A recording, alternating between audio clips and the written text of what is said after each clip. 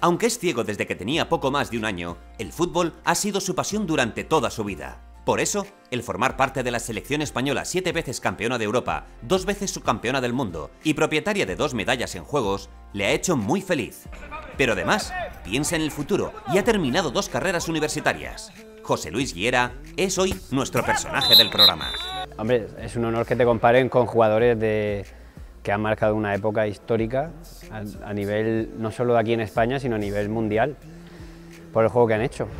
Y yo creo que si tenemos suerte las lesiones nos respetan y, y seguimos realizando el trabajo, esa línea por la que vamos, pues yo creo que más pronto que tarde tiene que caer un oro mundial o, o paralímpico.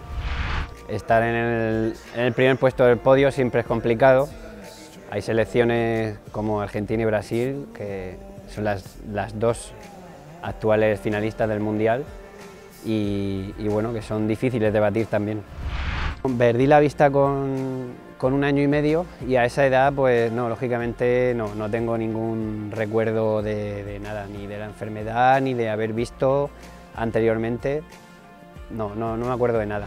Recuerdo que desde pequeñito, eh, cuando ya con tres o cuatro añitos, pues mi, mi padre fue el primero que, creo recordar yo, fue el primero que, que me bueno, pues trajo un balón a casa, un balón adaptado, lógicamente, y, jugaba conmigo, luego empecé a jugar con amigos, empecé a jugar en el colegio, eh, no lo sé, siempre me ha atraído muchísimo el deporte, jugar, practicarlo y me ha traído mucho también eh, escucharlo también, como lo, en, en la radio o en la tele.